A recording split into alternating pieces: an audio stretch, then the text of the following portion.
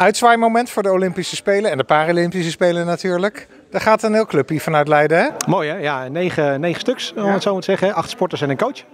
Jan Klerks, de roeicoach, die, uh, nou ja, die voegt er nog eentje toe aan zijn grote reeks aan de Olympische Spelen.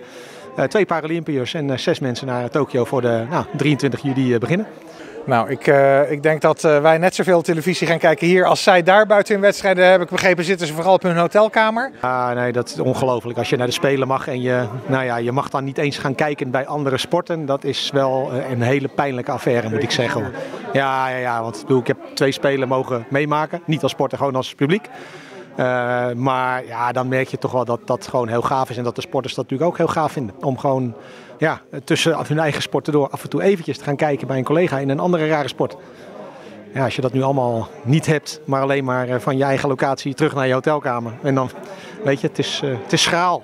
Volgens mij, uh, voor zover ik me laten vertellen, was Rio ook al anders. Maar dit gaat wel uh, ja, next level anders worden natuurlijk. Maar uh, weet je, het is wat het is en ik ben blij dat het doorgaat. En sportief niveau, of qua sportief gaat het niets onderdoen voor alle andere spelen.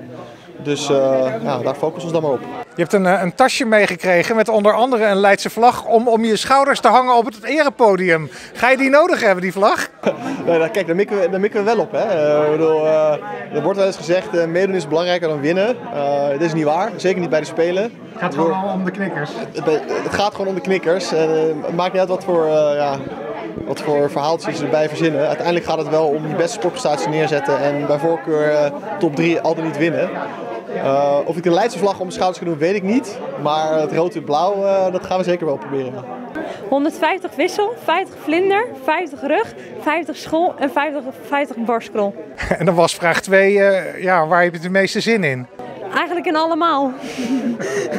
ja, ik, ik geniet er al heel erg van en ik ga vooral genieten. En ja, want, ja, mijn handicap is natuurlijk progressief, dus ik ga vooral gewoon genieten.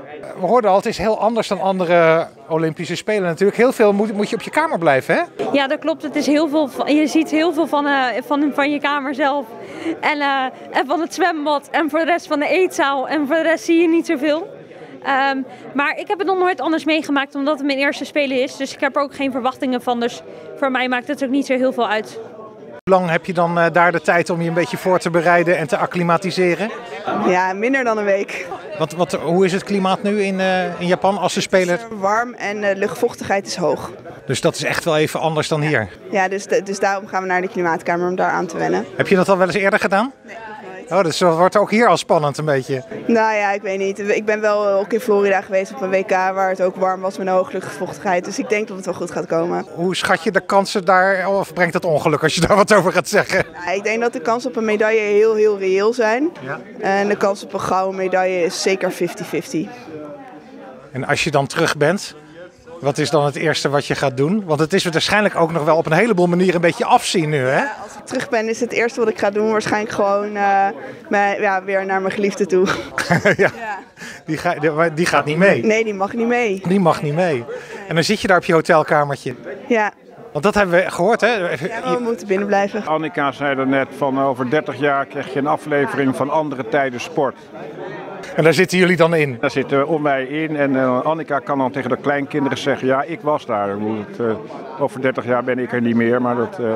En ook al is het dan een gekke, een gekke editie, ja, dat nemen ze niet af. Dat het een unieke, een unieke editie wordt. Nou, daar, daar gaan ze dan binnenkort naar, naar Japan. heeft u nog een boodschap voor ze?